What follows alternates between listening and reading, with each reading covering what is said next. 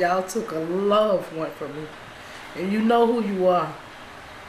Why? Why? A Grenada mom and dad are living their worst nightmare. They shot my son down like he was a dog in the street. This bloodstain is where 15-year-old Octavius Pittman was shot in his head. It all happened while he and two friends were walking in this Grenada alley Sunday night. It's hurt, it's hurt, it's tragedy. They thought it was happening to my family.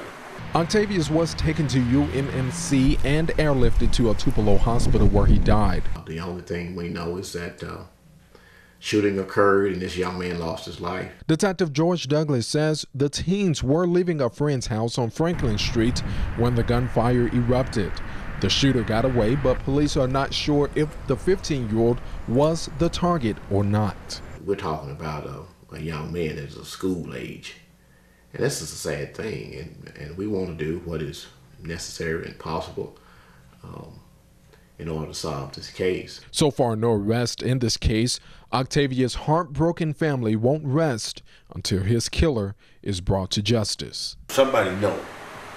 Somebody was uh, know, seen everything. They just need to come forward and, and do it for my son. Somebody should come forward. If y'all had and you have any type of any type of information, please go to the Grenada Police Department. Don't if you loved him and you knew who he was, please do this for him. Justin Moore, ABC 6 News, Grenada.